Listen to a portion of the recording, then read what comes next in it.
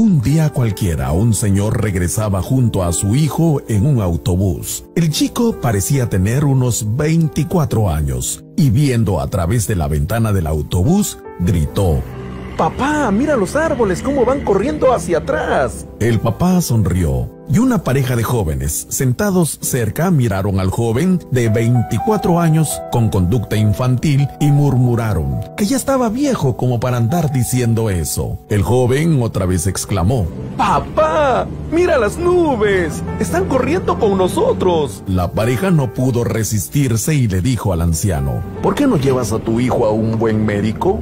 Ya está grandecito como para que se siga comportando como un niño. El anciano sonrió y dijo, Ya lo hice, amigo. Venimos del médico y apenas estamos viniendo de la clínica. Mi hijo era ciego de nacimiento y hoy, gracias a Dios, por primera vez puede ver. Por eso está emocionado. La pareja de jóvenes quisieron tragarse lo que habían dicho. La moraleja de esta pequeña historia es que cada persona en el planeta vive su propia situación. No juzgues a la gente antes que realmente los conozcas. La verdad puede sorprenderte. A veces las personas se comportan de cierta manera porque están atravesando situaciones muy dolorosas. Entonces nosotros los juzgamos desde nuestros paradigmas, desde nuestros propios prejuicios. Stephen Covey, el autor del famoso libro Los siete hábitos de la gente altamente efectiva, contó una anécdota personal. Dice que era un domingo en la mañana y el vagón del tren estaba muy tranquilo. Las personas estaban en su mayoría leyendo o descansando con sus ojos cerrados. En ese momento entra un hombre al vagón con sus hijos. Inmediatamente la escena cambió.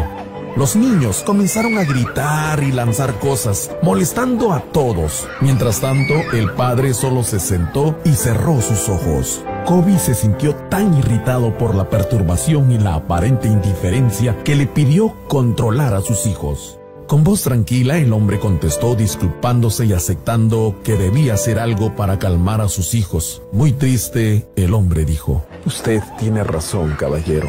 Debo hacer algo. Pero no sé qué decirles ni qué hacer. La mamá de mis hijos acaba de fallecer hace una hora y todos están en estado de shock. Kobe dice que en ese momento sus paradigmas cambiaron completamente. De estar molesto por la bulla de los niños, pasó a sentir compasión y deseo de ayudar. A veces eso es lo que necesitamos, escuchar a los demás para comprenderlos. Ya lo dice la vieja frase que tenemos que ponernos en los zapatos del otro, vivir sin juzgar, sin criticar, vivir para comprender, para apoyar, para sumar, para amar.